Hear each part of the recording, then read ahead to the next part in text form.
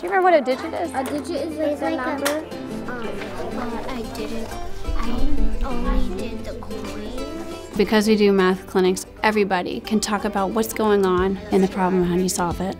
So it has to be fine. Try it again. All students have a chance to have a conversation with the teacher and really talk about what the math means. When do we have to regroup? When the number is bigger than 10. That's right.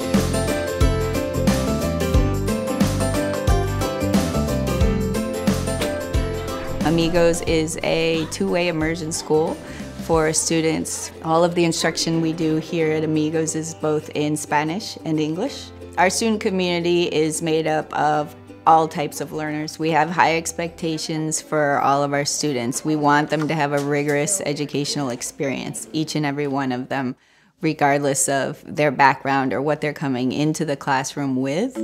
I can apply. I can apply. What I know.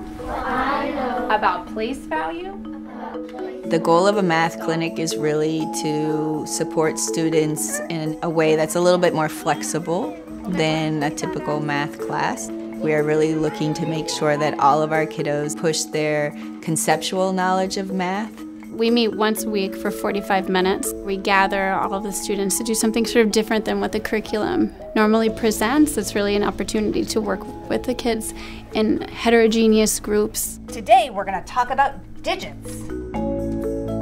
Digits is just a fancy word for number, right? Not exactly. With digits, we can just write a seven. We're trying to bring in things like math read alouds and other literacy connections, activities and games that get kids to really think about math, not just in a structured lesson. Why did a person in the book said it's a lower number, 100? But it's a big number. 100 is a big number. How can it be the smallest? Is that what you're asking? Yeah, yeah we're going to talk about that in the groups.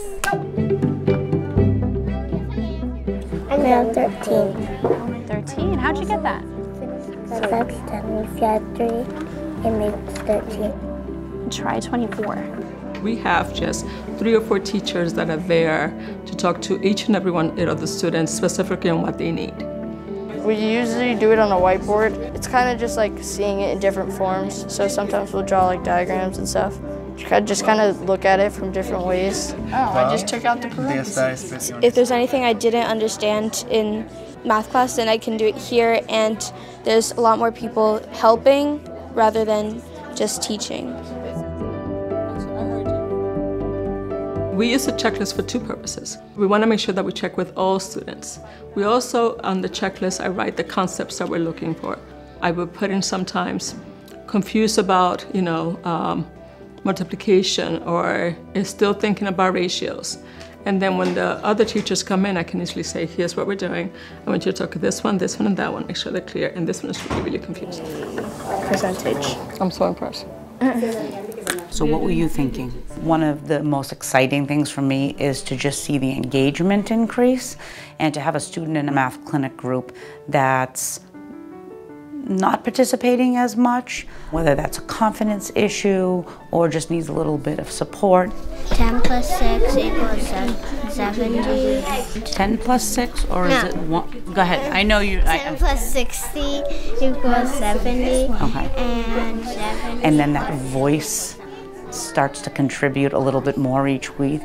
Oh, so we put one? No. Is this the answer? Oh, let's look again. They're able to express and show not only me, but their classmates, which is really important. Their ideas, their thinking, the way they're looking at things, and so that they can learn from one another, which is critical. Um, It gets trickier. Are you ready? You're not doomed.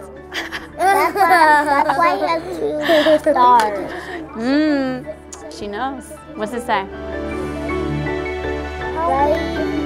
Oh, right here.